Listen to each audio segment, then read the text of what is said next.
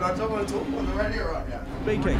White House Chief of Staff. Chris Warner calling here from the New Zealand government. Why are you posing that someone else? So You're not. is it? So what is Why it? are you just gonna ring them up and say, Kelly, "Yes, can you what, you're know what, what the you're hell's gone going and on do- here? We'll just call the White House and just go, I'll wish them good luck for the election. Call the White House. You want to bug them a couple of days out from? I've phoned them before Okay. and they just they just hang up on you. Are you ringing? International call. Good afternoon, White House. Hi there. How are you? Yeah, good. Chris Warner calling here from the New Zealand government. Prime Minister Ardern's chief of staff just had uh, the Prime Minister on standby to wish her well wishes to President Trump. Hold this, sir. What are you doing? What are you doing? Hello, Chris. Yeah. Are you there? Speaking. Mark Meadows, White House Chief of Staff. How's New Zealand today? Good, thank you. Now, I, I understand uh, Prime Minister Ardern would uh, would like a word with the president. Just to uh, uh, wish her well wishes. She could uh, pass on the well wishes if, if you want to do that. Sure. The president is just in a meeting at the moment. Uh, uh, I'll, I'll just find out where the president's current meeting is, Okay, if you don't mind holding the line. no worries. Thank you. Why have you, you've gone way too deep here? Why are you posing that someone else? You're not. What? that You were just going to ring them up and say you're.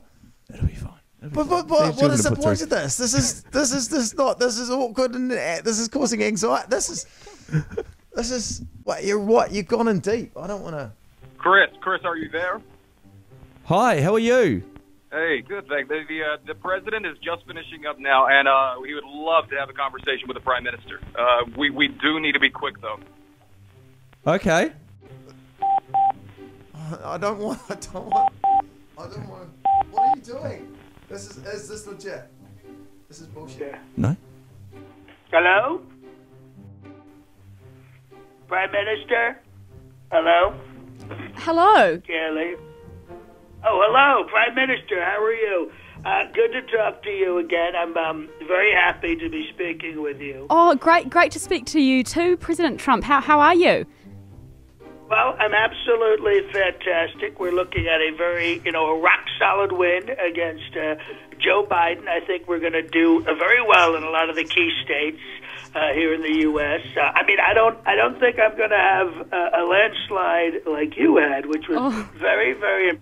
Impressive. I have to tell you, I have to tell you. I think you're just doing a tremendous job down there in Australia, and I'm so happy, and I, I hope to continue uh, it with the next four years in this next term, and hopefully you're not talking to Sleepy Joe because I don't think you'll like it. Th- thank you very much. See you. Okay, okay, very good. We're gonna we're gonna keep America great again and again and again. Wonderful, wonderful. Thanks. Thank you. Bye. Bye. Thank you, Prime Minister. You're uh, fantastic. Was that bullshit? Was that bullshit? No. You guys in on something here? No? Is that because uh. Is it, I can hear people. Is this? Are we still on? this is is this no? Like, I don't want. No, I don't want. President. This is it. Why do I hear a lot of voices? Is this a secure line? I thought this was a on it. secure line. I don't know if this is a joke on me, but I don't want to talk on the radio right now. Hello, Hi, hi. hello, Kelly. Can you find out what the hell's going on here? I, I hear a lot of voices.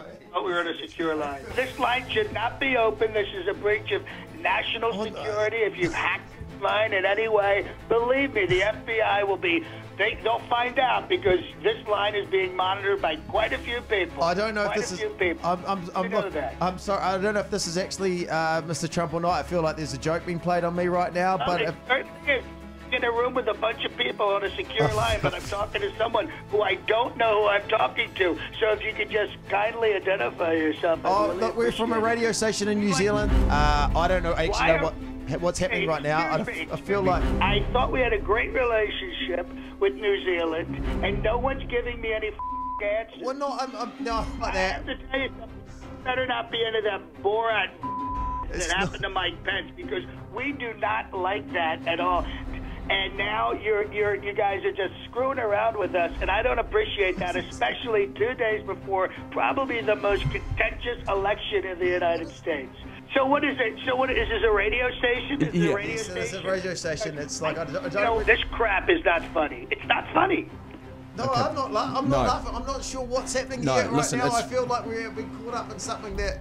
I Listen, thought Ben, Ben, It's just the world's premier Donald Trump impersonator, John Di Domenico, on the phone.